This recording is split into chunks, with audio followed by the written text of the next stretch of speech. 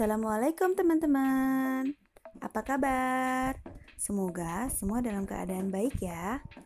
Kali ini saya mau berbagi resep membuat opor ayam. Yuk, ikuti videonya. Caranya mudah dan kalian juga bisa mencobanya di rumah. Enjoy!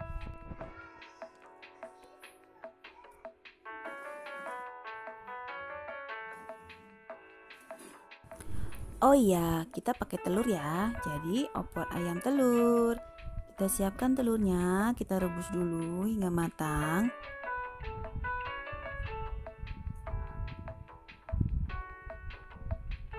Kemudian kita sisihkan.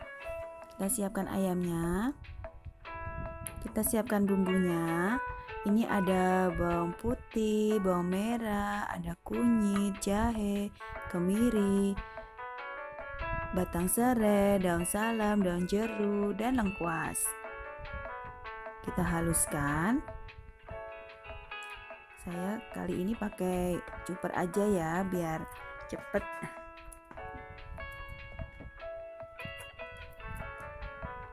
Oh iya, tadi pakai kunyit juga ya.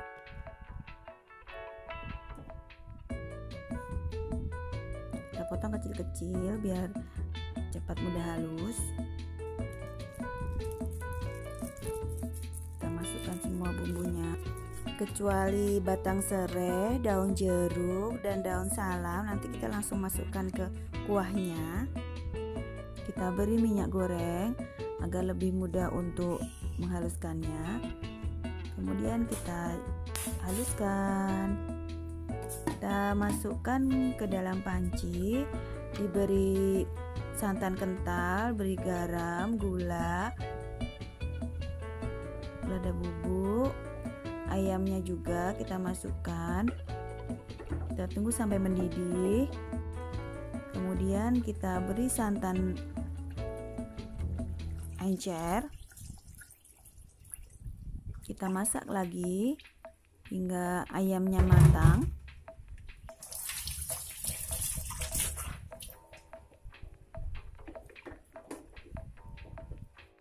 lalu kita masukkan telur. Ini dia. Prosesnya agak lama ya teman-teman. Tadi saya ungkep agak lama dengan api kecil sehingga kuahnya menyusut dan ini udah mateng. Udah siap untuk dinikmati bisa dengan nasi hangat atau dengan lontong atau ketupat Oke teman-teman, terima kasih ya sudah menonton video saya. Semoga kalian bisa mencobanya juga.